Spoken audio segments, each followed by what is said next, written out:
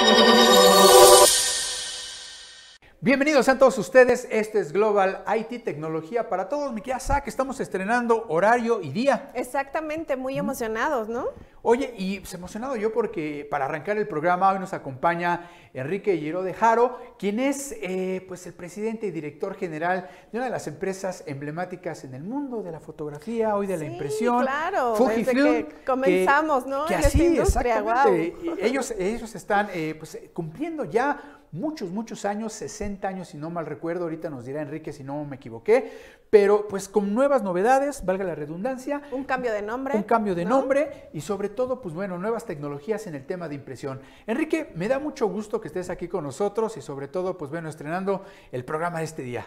Un gusto estar con ustedes. Este, me encanta poder platicar de todos los cambios que estamos teniendo en la compañía. Es una de las compañías más innovadoras del mundo y con esto pues no nos podemos quedar tranquilos, ¿no? Tenemos que estar con cambios todos los días. Oye, ¿me equivoqué en la fecha? ¿60 años? 60 años en México. En este, México. Fuji Corporation eh, empezó en 1932, si no me equivoco. estamos ya casi por cumplir los 100 años, ¿no? Así es, y pues bueno, novedades importantes en el mundo de la impresión, porque pues bueno, recordamos al viejo Fuji por el tema de las fotografías, yo me acuerdo cuando íbamos a comprar los rollos de película, y hoy en día pues ven una empresa que ha sabido evolucionar muy bien a lo largo del tiempo, irse adaptando a las nuevas necesidades, pues tanto de los usuarios finales como de las empresas, y de ahí vienen todos estos cambios, Enrique. Sí, claro que sí, este, al consumidor llegamos principalmente con nuestros productos fotográficos y pues es por lo que nos conocen, sin embargo Fuji tiene todo un portafolio de líneas industriales, alianzas con otras compañías, que bueno, pues este, convivimos con tecnologías de Fuji todos los días de nuestras vidas, ¿no? Así es. Enrique, ahora se llaman Fujifilm Business Innovation, ¿verdad? Eh, bueno, hubo una reestructura muy interesante. Fujifilm sigue siendo eh, Fujifilm. Este, tenemos una, una, compañía matriz que es Fujifilm Holdings. Y este cambio de Fujifilm Business Innovation viene de una relación que tenemos con otra empresa muy reconocida eh, de impresoras, que bueno, pues la alianza empezó desde que, desde que empezó esta industria, ¿no? Estamos hablando de la década de los 60, cuando empezaban las copias fotostáticas, las primeras máquinas que podían imprimir ya en papel bond y desde entonces pues Fujifilm ha estado en este negocio. Ahora, esa compañía eh, tenía el nombre de Fuji Xerox y eh, recientemente con algunos cambios en este joint venture que teníamos se convierte en Fujifilm Business Innovation. Y esto lo interesante es que nos permite eh, seguir innovando con nuestros productos, pero ya comercializarlos de forma directa con marca Fujifilm en todos los territorios. Entonces, estamos muy orgullosos que en México somos el primer país del hemisferio occidental, fuera de la región de Asia-Pacífico, que Fujifilm ya lleva muchos años trabajando, en donde estamos lanzando esta línea. Entonces, pues nos sentimos orgullosos que sea México, ¿no? Oye, Enrique, ¿qué ha cambiado a lo largo de los últimos años en los temas de impresión? Porque por ahí algunos pensábamos que el tema de imprimir en hojas, pues ya no era sustentable, ya no era, eh, pues inclusive recomendable para las empresas por los gastos que podía generar. Pero ¿qué ha cambiado? La pandemia hizo varios cambios en, el tema empresarial y yo creo que la impresión está de vuelta. Definitivamente, este, ha habido muchos cambios y el uso de, la impresión ha tenido que adaptarse a las tendencias actuales. ¿no? Efectivamente, con la pandemia, pues este, este tema del home office y todo esto tuvo cosas muy buenas. Sin embargo, pues el manejo de documentos, papeles era más complicado y ha bajado el volumen de impresión en oficinas. ¿no? Sin embargo, pues es algo que sigue siendo una necesidad, se sigue imprimiendo y esta impresión digital se está moviendo a segmentos diferentes. Entonces, este, las máquinas grandes, por ejemplo, están sustituyendo al offset tradicional. Estamos, este, y más que una sustitución, estamos complementando el portafolio de productos que tenemos. ¿no? Entonces, las oportunidades de impresión siguen siendo enormes. A fin de cuentas, pues cualquier producto que compramos tiene empaques, tiene, eh, a fin de cuentas, somos un, ser que, vivimos de la vista y la parte de la impresión, pues no se va a desaparecer en, en ningún momento. ¿no? Y como tal ya no solo es el hardware, ¿no, Enrique? Sino también vienen las soluciones en conjunto con estas impresiones, impresoras. Sí, definitivamente. Este, el control de los documentos, la información confidencial que se, que se imprime. Entonces, por ejemplo, desde nuestras impresoras más chiquitas para oficina, este, impresoras muy, muy pequeñas, a lo mejor para un grupo de, de cuatro o cinco personas que estén trabajando, antes, pues tú lo mandabas en la red y había que correr a recoger tus documentos. Este, hoy en día hay soluciones bien interesantes de software. Entonces tú puedes, por ejemplo, mandar todos tus documentos y nada más al poner tu teléfono con NFC o con, algunas de las tecnologías que tenemos con las tarjetas de, las, de, acceso a las oficinas, con esto liberas tus spools de impresión. Entonces, este, obviamente esta parte de software ha cambiado mucho.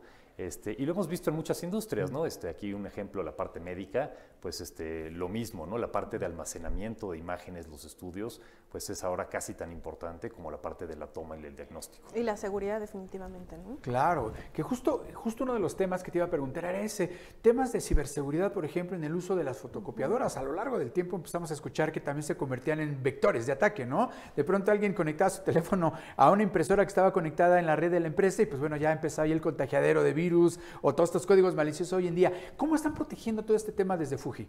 Bueno, todo, cualquier cosa que conecte una red corporativa tiene que tener su seguridad. Entonces, en este sentido, todas las, las computadoras, bueno, todas las impresoras que estamos este, comercializando tienen varias capas de seguridad. Y como te comentaba, desde esta parte de poder liberar tus órdenes este, con, con tecnologías más avanzadas, puedes controlar a tus usuarios, qué usuarios pueden hacer uso de qué sistemas. Este, ahora pues es tan sencillo para imprimir que pues puedes imprimir desde tu celular, una tableta, lo que lleves.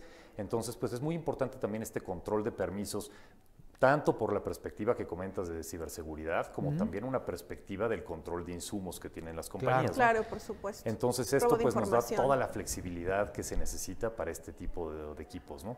Y algo bien interesante de lo que tenemos en nuestro portafolio es que a diferencia de la mayoría de las marcas que se enfocan en un nicho, pues aquí nosotros tenemos un portafolio súper amplio que empieza desde las impresoras más pequeñitas este, para un grupo de trabajo chico en oficina.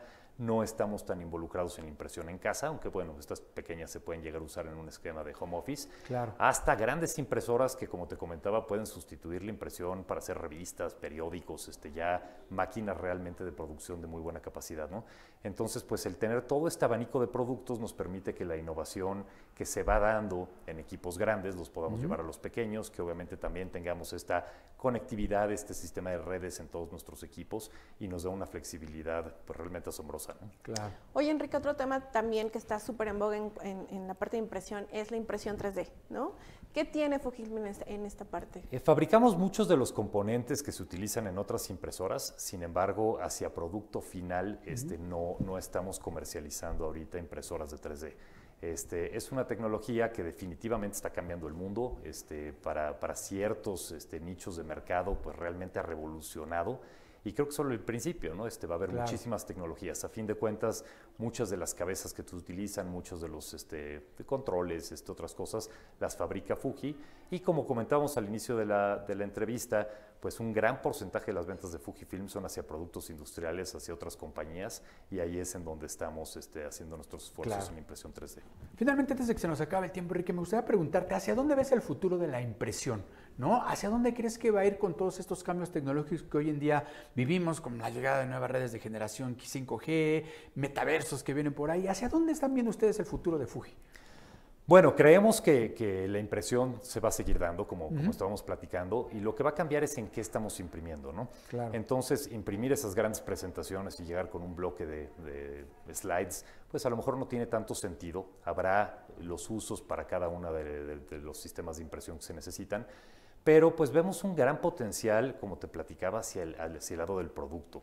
Eh, también Fujifilm participa en la industria de las artes gráficas, impresión más de volumen, uh -huh. y en ese sentido, pues este, las tendencias actuales van mucho más hacia el empaque, hacia la flexografía, toda esta parte de impresión digital. Este, si antes recibíamos pues, revistas, periódicos en nuestra casa, libros, a, a fin de cuentas, aunque pues este, es muy cómodo y tiene claro. muchos beneficios, por ejemplo, leer en un Kindle, hay cosas que es mucho más fácil, o en una tableta electrónica, hay cosas que es mucho más fácil este, seguirlas manejando en papel, cansa menos, este, tiene, tiene su encanto también, ¿no? Claro. Entonces, de, de, esta misma manera, consideramos que muchos de los documentos de oficina se seguirán manejando en papel, ciertos contratos importantes, uh -huh. ciertos documentos se siguen manejando en papel. Ha, ha habido una campaña para eh, atacar a esta parte de la impresión, hablando más de temas este, negativos del efecto que tiene la impresión como contaminación. Pero pues obviamente no es que vayas a cortar árboles para hacer tu papel, ¿no? Claro. Son granjas que al revés capturan carbono, ¿no? Entonces incluso a, a, nivel internacional ha habido demandas contra estas campañas en el sentido de que puede ser incluso más limpio en, en ciertos usos el seguir utilizando papel que el utilizar todos los sí, servidores. Los electrónicos, basura, todo lo que se origina. Entonces, pero... definitivamente vemos un futuro grande, con muchas posibilidades de seguir creciendo. Este es una industria con muchos competidores, entonces vemos algo de consolidación, pero pues sabemos que hay muchos lugares hacia donde movernos y seguir Claro. creciendo con la impresión. Enrique, pues te agradezco mucho que nos hayas acompañado para platicarnos un poquito de los nuevos negocios que está haciendo Fuji y sobre todo hacia dónde van, ¿no? Muchas gracias. Encantado, muchas gracias por la invitación, Paul. Muchas gracias. Gracias. Gracias. Pues vámonos rápidamente un corte. Esto es Global IT Tecnología para todos. No le cambie, regresamos después de unos momentos.